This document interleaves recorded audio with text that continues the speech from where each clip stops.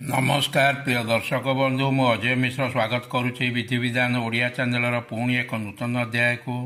ଦର୍ଶକ ବନ୍ଧୁ ହିନ୍ଦୁ ଧର୍ମରେ ହନୁମାନଜୀ ସଙ୍କଟରୁ ଉଦ୍ଧାର କରିବା ଦେବତା ରୂପେ ମନାଯାଇଥାଏ ଯେଉଁମାନେ ହନୁମାନଜୀଙ୍କ ଉପରେ ଦୃଢ଼ ନିଷ୍ଠା ଓ ଭକ୍ତି ରଖିଥାନ୍ତି ସେମାନଙ୍କ ଜୀବନରେ ଆସୁଥିବା ସମସ୍ତ ସଙ୍କଟ ସମସ୍ତ ପ୍ରକାର ବିପଦକୁ ହନୁମାନଜୀ ଖଣ୍ଡନ କରିଦେଇଥାନ୍ତି। ତା ସହିତ ଯଦି ବିଧି ମୁତାବକ ହନୁମାନଜୀଙ୍କର ପୂଜାପାଠ କରୁଥିବା ଭକ୍ତଙ୍କୁ ଅଧିକ ଫଳ ମଧ୍ୟ ପ୍ରଦାନ କରିଥାଏ। ଶାସ୍ତ୍ରରେ କୁହାଯାଇଥିବା ଏହି ଦଶଟି ନିୟମକୁ ପାଳନ କଲେ ବ୍ୟକ୍ତିଙ୍କୁ ଅପାର ସଫଳତା ପ୍ରାପ୍ତ ହୋଇଥାଏ।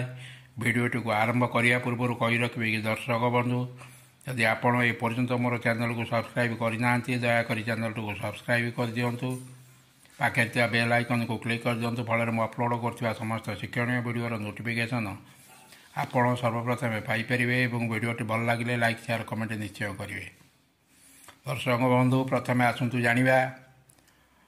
ହନୁମାନଙ୍କ ପୂଜା ସପ୍ତାହର ସାତ ଦିନ କରାଯିବା ଉଚିତ କିନ୍ତୁ ମଙ୍ଗଳବାର ଦିନ ହନୁମାନଜୀଙ୍କ ପାଇଁ ଏକ ସମର୍ପିତ ବାରଟିଏ ଏହି ଦିନ ଉପାସନା ବ୍ରତ କରି ପୂଜା ଅର୍ଚ୍ଚନା କଲେ ମଙ୍ଗଳଜନିତ ଦୋଷ ଖଣ୍ଡନ ହୋଇଥାଏ।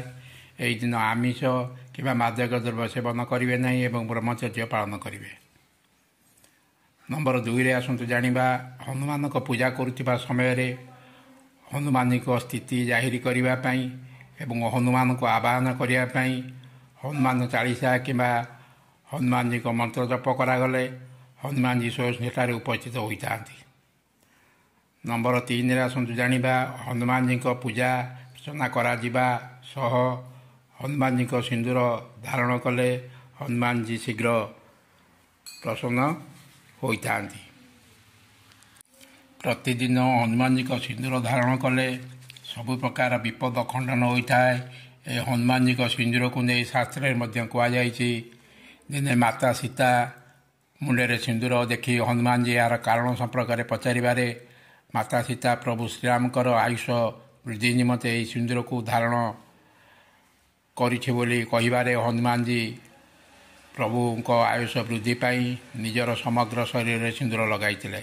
ତେଣୁ ହନୁମାନଜୀଙ୍କର ଏହି ସିନ୍ଦୁରକୁ ଧାରଣ କରିବା ସହ ଧାରଣ କରିବା ଦ୍ୱାରା ହନୁମାନଜୀଙ୍କୁ ଶୀଘ୍ର ପ୍ରସନ୍ନ କରାଯାଇଥାଏ।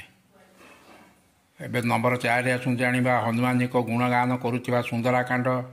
ଯେଉଁଠାରେ ପାଠ କରାଯାଏ ସେଠାରେ ସ୍ୱୟଂ ହନୁମାନଜୀ ମହାରାଜ ଉପସ୍ଥିତ ହୋଇଥାନ୍ତି। ତେଣୁ ଯେଉଁ ବ୍ୟକ୍ତି ଦୃଢ଼ ନିଷ୍ଠା ଭକ୍ତି ଓ ଆତ୍ମବିଶ୍ୱାସର ସହ ସୁନ୍ଦରାକାଣ୍ଡ ପାଠ କରନ୍ତି ବିଫଳତା ତାଙ୍କୁ ସ୍ପର୍ଶ କରିନଥାଏ।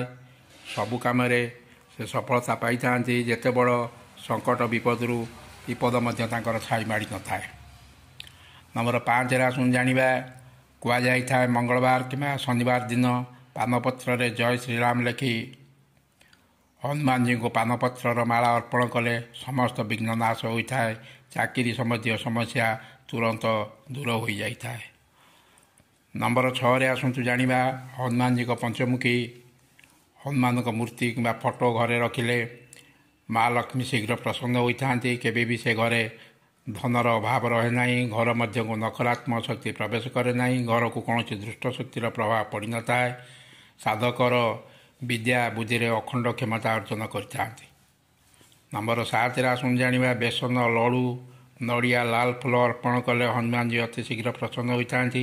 ଘରେ ସର୍ବଦା ସୁଖୀ ସୁଖ ସମୃଦ୍ଧି ଲାଗି ରହିଥାଏ। ନମ୍ବର ଆଠରେ ଆସନ୍ତୁ ଜାଣିବା ଯଦି ମଙ୍ଗଳ ଦୋଷ ହେତୁ ବିବାହ କାର୍ଯ୍ୟ ହେତୁକ ବିଳମ୍ବ ଘଟୁଥାଏ ତେବେ ହନୁମାନଜୀଙ୍କୁ ସକାଳ ସନ୍ଧ୍ୟାରେ ପ୍ରାର୍ଥନା କରିବା ସହ ମନ୍ତ୍ର ଜପ କରି ଦୁଇ ଦୁଇ ବେଳା ସକାଳେ ଏବଂ ସନ୍ଧ୍ୟାରେ ଚାମେଲି ତେଲର ଦୀପ ଜାଳିଲେ ଅତି ଶୀଘ୍ର ବିବାହ କାର୍ଯ୍ୟ ସମ୍ପନ୍ନ ହୋଇଥାଏ। ନମ୍ବର ନଅରେ ଆସନ୍ତୁ ଜାଣିବା ତୁରନ୍ତ ରୋଗ ମୁକ୍ତି ପାଇଁ ପ୍ରତିଦିନ ହନୁମାନ ଚାଳିଶା ପାଠ କରନ୍ତୁ ଏବଂ ନଡ଼ିଆ ଗୁଡ଼ ଚଣା ଭୋଗ କରନ୍ତୁ ନିଶ୍ଚୟ ହନୁମାନଙ୍କ କୃପାରୁ ଶୀଘ୍ର ଆରୋଗ୍ୟ ଲାଭ କରିବେ।